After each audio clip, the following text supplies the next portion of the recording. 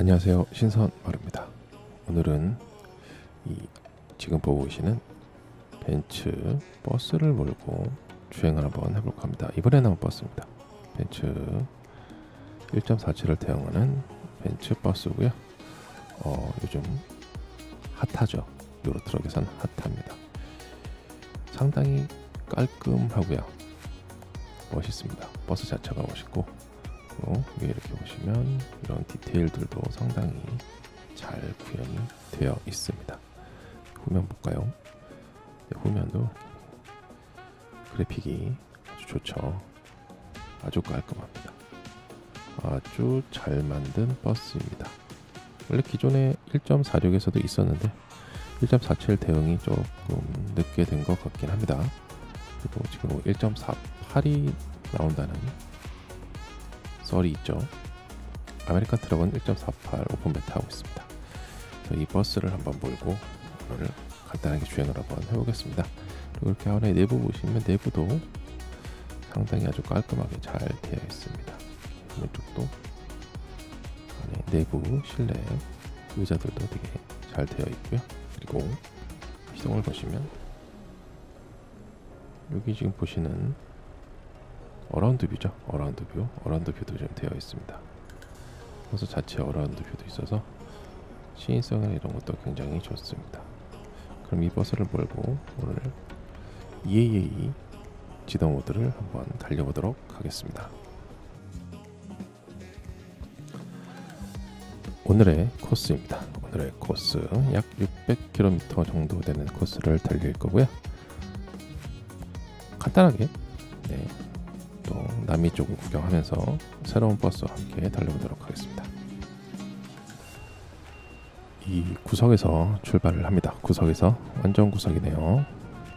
사람들을 태워보죠.